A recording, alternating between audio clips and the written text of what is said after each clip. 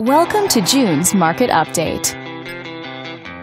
Tracey, your trusted real estate agent, thought you'd find this information helpful and is ready to answer any questions about the local market. Let's take a look at real estate activity in your area during the month of June. The number of active listings was stable from one year earlier and down 10% from the previous month.